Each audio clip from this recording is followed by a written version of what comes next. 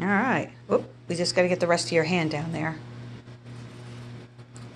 And let's finish your, your palm. There we go. Now, oh, remember you have a thumb, right? Can't do that.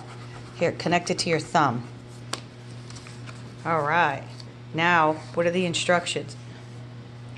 We have to draw. What do the instructions say? Fill it with drawings of your favorite things. I have an idea.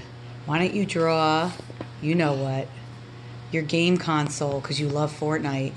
Wait, I need. I have to have a more. You need a, okay, go get your console so you can, um, all right, Jacoby's going to go get his gaming device so he can copy it onto. Here. Okay. All right. So let's draw it kind of on the small side because you, you have a small hand. So go ahead. See, see if you can make that.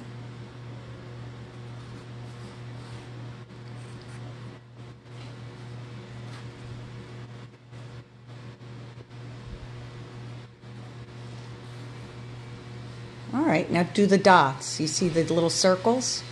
Good job. Those are all the controllers you use, right?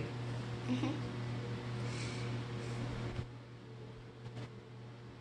Now they're different colors though, so you should use some colored pencils or crayons here to make them the right color.